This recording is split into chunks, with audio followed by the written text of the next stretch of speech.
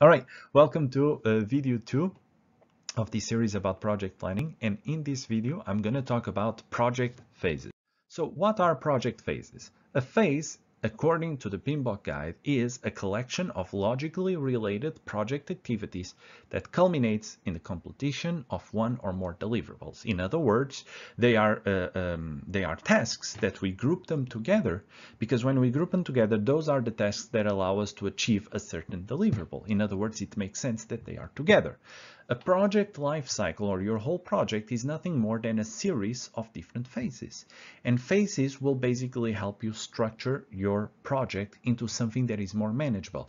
As human beings, we have a huge difficulty imagining things that are very large. So we tend to break them up into small components because those small components are easier to understand, easier to manage.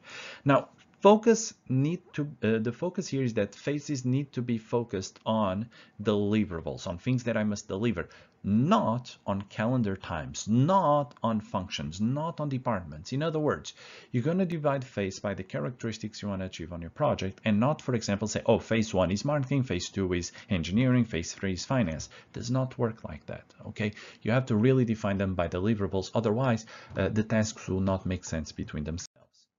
So what are the characteristics of a phase? Well, every phase will have a focus or a goal that is based upon the set of deliverables or macro level project risk consideration. In other words, at the end of each phase, there is something that you must achieve. And the activities that you have in each phase, they're not always related to the same department. You typically have activities from all the different departments. You will have activities that are more related to finance, activities that are more related to engineering, activities that are more related to other things. And each phase, you have to look at it as a mini project, all right? There's going to be a budget for each phase. There's going to be a work for each phase. There's a schedule for each phase. Phases are usually sequential. In other words, phase two will come after phase one. Phase three will come after phase two. This is the normal part, but sometimes they can overlap, which means that phase two might begin before phase one is 100% complete. And we'll talk about that in future videos.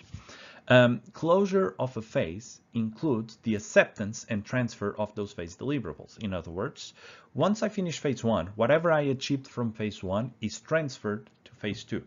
Okay, and if a phase is closed, that means that the stakeholders or the project manager or your or senior management has approved that whatever was created in phase one is good enough to go into phase two. There's actually at the end of the phase, there's normally a meeting. We call them a, a, phase gate decision. So this is a decision to start or to end a new phase. And there's typically five decisions that can be held here. The first option is you have a go decision. In other words, all right, let's imagine we just finished phase, phase one. So, all right, whatever you did in phase one is good. You can now start phase two. That's it. That's the best decision you can have. You might also have second option, which is a conditional go. And a conditional go states, all right, you can start phase two, but there's a couple of things I want you to change in phase one. So phase one is not done yet, but you can start phase two already. Option three, resubmission. This is when the work uh, of the phase one in this case is not good enough and you have to go back and redo it. You are not authorized to start phase two and you must redo the phase one, which tends to happen unfortunately uh, that's life. But uh, uh, a lot of times this decision means that you have to go back and change quite a lot of things. Uh, some things might be small to change some things might be larger.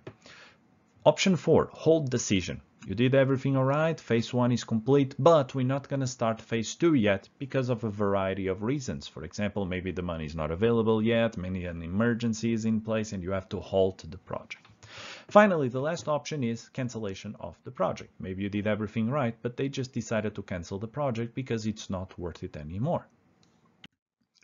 So there's many different ways on how do we divide a project into phases. This is not something I'm going to go too much into detail, but there's many different uh, there's many different methods. There's methods like Six Sigma, Lean Management. In construction, for example, they have specific phases. And for most projects, for many, many projects, actually not for most, sorry, for many projects, there are already phases defined and you can easily find them online. Uh, what are the best ways to divide a project into phases for the type of project you're looking? But there is a common understanding that deliverables should provide, should be provided at each stage, at the end of each phase. Now, best practices, tools, and templates for each stage uh, need to be incorporated into a document we call uh, that we speak later on called the lessons learned.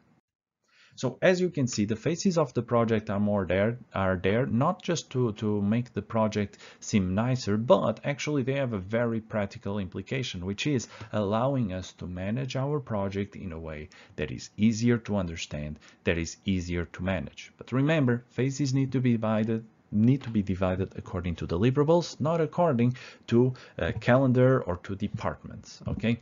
Thank you very much for watching this video. I hope you enjoyed it and I'll see you on the next video of this mini series.